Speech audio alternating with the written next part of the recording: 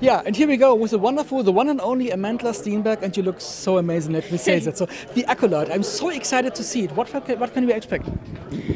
Well, we can expect a lot of moral ambiguity, um, a lot of new characters. And female women power, okay? Absolutely that. And yeah, really beautiful, uh, powerful performances from really badass women. Put a ticket in and make her name it gay! Sure, yeah. Well, let's try that. Early. It looks like the good woke people at Disney are trying real hard to sell us their upcoming crap show known as The Acolyte. A few days ago, they released another trailer for it in hopes that people will like it more than the last one, but by looking at its like dislike ratio and reading the comments under it, it looks like it's just as hated as ever. My favorite comment is OMG, I saw the Easter egg in the trailer. Did anyone miss it at 0 to 150? Spoiler. The message.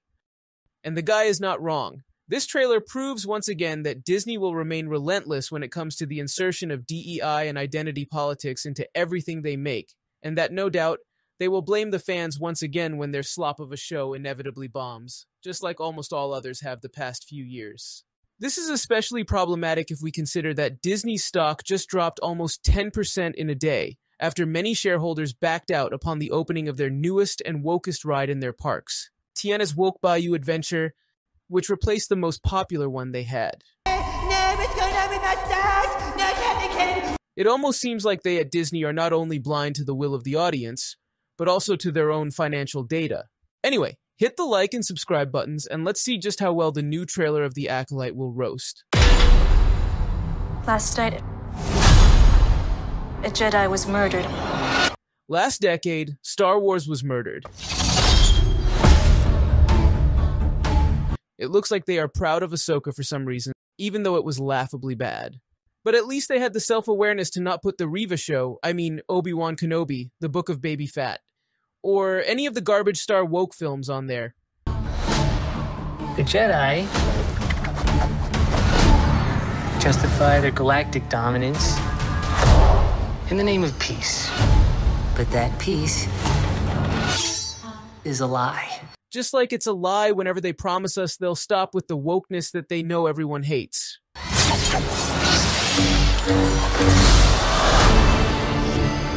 Jedi are being hunted. Yes, by Kathleen Kennedy and her activist girlfriends.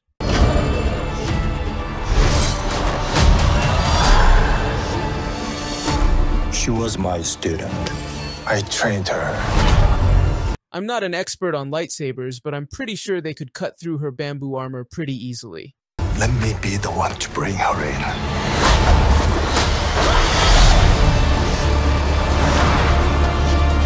I sense this is only a small part of a larger plan. Yes, it's called the destruction of the social fabric through cultural Marxism. Some sort of shift to tip the scales.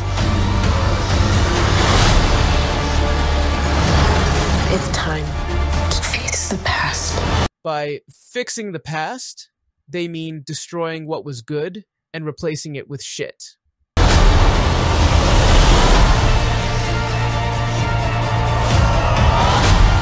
No one is safe from the truth, and the truth is, this show is gonna suck and flop hard. Destiny is not decided for you by an anonymous force. Not simply an anonymous force, but a female anonymous force.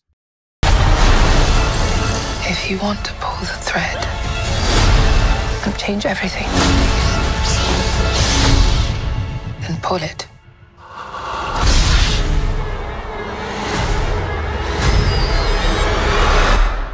What are you? Going by every woke slop ever made, most likely a lame and gay chick in a helmet.